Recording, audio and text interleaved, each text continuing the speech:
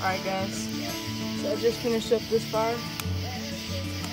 And my stepdad, Frank, he's over there behind the shop filleting fish. And I'll get to you when we... So basically we're doing fried, uh, or fried fish on a fire. And I'll get to you when he's done filleting the fish.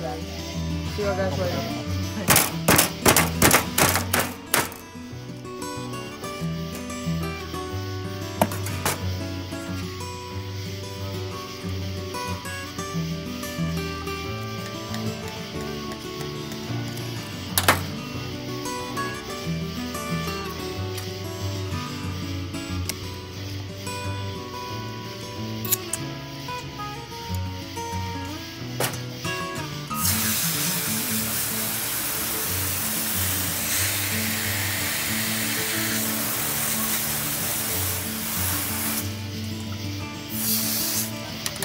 Alright, so we got our uh, brim.